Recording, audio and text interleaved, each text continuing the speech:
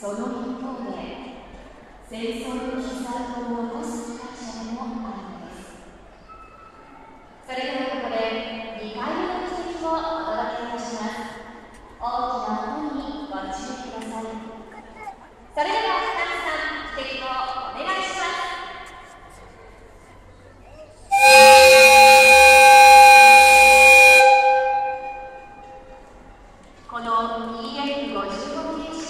式1号機は太平洋戦争中静岡県で非重傷者を受け車体の重要箇所が損傷する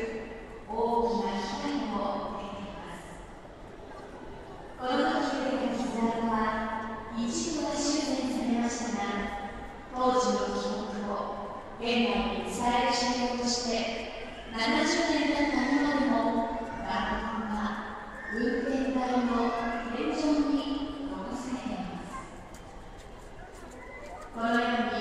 に EF55 形式1号機はその活躍した時代を後世に語り継ぐ重要な役割を担っているのです電車内アクティブが終了いたしましたらぜひ間近より EF55 形式